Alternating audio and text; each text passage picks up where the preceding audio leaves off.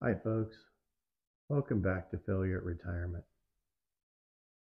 So, I got this idea in my head uh, several weeks ago, uh, around Christmas, I guess, or a little before maybe, when the guys reflecting one day.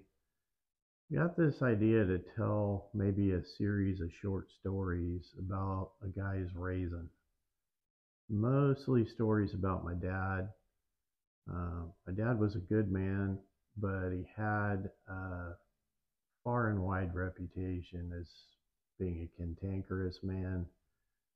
He actually kind of uh, loved himself a good fight or argument, and he had a terrible, terrible short temper, like probably one of the shorter tempers I've ever come across. And uh, there was many times he let his temper get the better of him.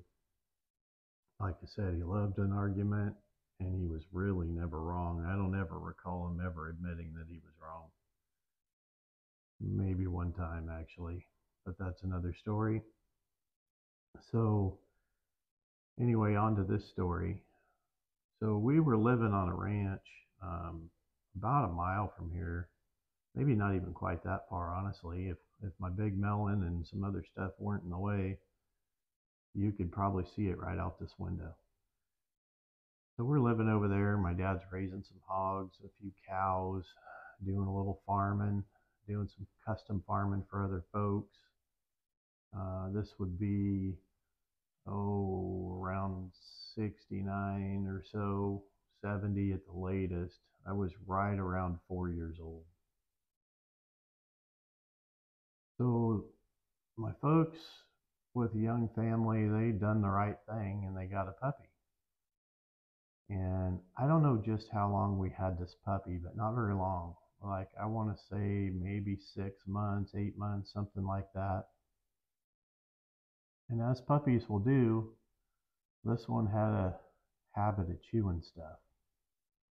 And I guess this one was pretty good at it. So here we have another flying beast.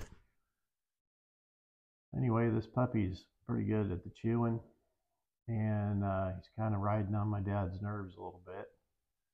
So one day, my dad comes in for lunch, and on his way into the house, he finds something else that the puppy's chewed that he's going to have to replace. And he decides right then and there that him and this puppy are done. That uh, he doesn't need this puppy in his life anymore. So some garage words are exchanged. Some stuff was said that I was I'm fairly certain was hurtful to the puppy's feelings. I'm sure that my dad took a swipe at the puppy with his boot and maybe whatever else he could get his hands on. So the puppy got the message and took off across the yard and took refuge under the silage chopper. The silage chopper, I believe, was maybe a year old, maybe not, somewhere in there. It was pretty near new. So my dad, he's gonna he's gonna fix this situation. So he goes in the house and gets his 22 rifle, and he comes out. He's gonna solve the problem. So he flops down on his belly in the driveway, squares up on this puppy, eases back on the trigger. The only noise he got out of that, besides the noise from the rifle, was the psh, as the air came out of the tire on the silage chopper. So puppy just fine. Silage chopper, not so much. So now my dad's really mad. But funny thing is, it occurred to me as I was thinking about telling the story. I wonder if the folks cleaned that up for me because of my tender age that uh, maybe my dad really did get the puppy. But then I realized I only ever knew my dad to have the one rifle, 22 Winchester, and it was missing the tube magazine. I grew up shooting that thing. That's where I learned to shoot. But it was basically single shot. By the time my dad would have got another shot into it, the puppy would have been gone. The puppy figured out he wasn't wanted. He took off down the driveway. We never saw him again. So, anyway, this is a funny story that was told on my dad many times over the years. He never enjoyed the story. It was part of the reason it got told. Um, he was still angry at the puppy 30 years later. Um, every once in a while, if he's in the right mood, he could maybe smile a little bit, but you could tell he still was not happy about having to go to town and buy a tire. That was not in his budget, I can assure you of that.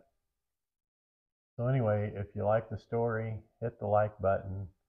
If you want to hear more of them, drop a comment, let me know. I don't know if you want to hear this stuff or not. I think I've got a couple more that I can come up with. I know I got one that I kind of wanted to tell for a while that I'm just not quite sure how to tell it yet, or maybe even if I even should. Um, so if you want to hear more of these stories kind of mixed in here from time to time, leave me a comment and let me know. Uh, if I get a few comments saying you want to hear more, I'll make some more. Alrighty, I appreciate you guys watching. We'll see you next time on Failure at Retirement. Have a nice day.